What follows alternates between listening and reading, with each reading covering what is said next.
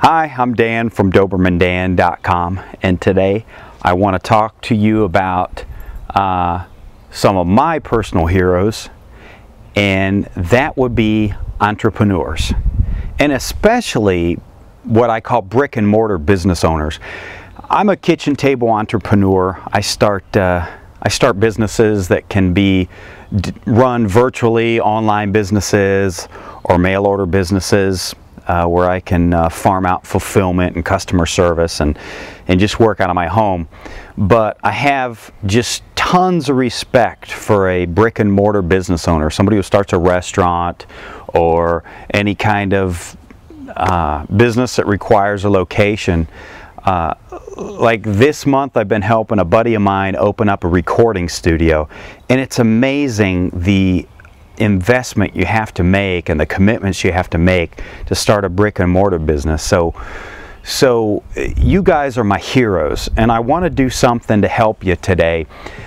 The biggest area I see brick and mortar businesses um, falling down in, or the, the biggest mistake I see them making, is not capturing uh, their prospects' contact information or customers' contact information.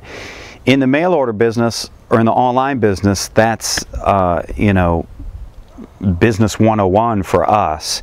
Uh, we don't survive if we don't capture prospects and, and, and, and customers' contact information. But brick and mortar business owners tend to just rely on just store traffic, just people coming in. Let me give you a quick tip. When people come into your store, why don't you go ahead and take a few extra steps to capture their contact information. That would be name, uh, mailing address, phone number, and email address. And you could do that by having a little contest. You're going to give away a trinket or something like that. Or, you know, tell them every month you're going to have a special discount for them that you'll send them in the mail. And definitely contact or, or, or capture your contact information for your customers.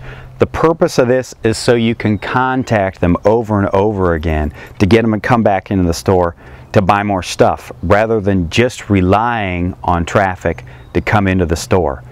A friend of mine who owns a music store up in Ohio did this and um, he tried it once. He did an event and, uh, and promoted it through the mail through a, a, a simple uh, number 10 envelope mailing uh, mailed to the people, the, the prospects and customers he captured their contact information from.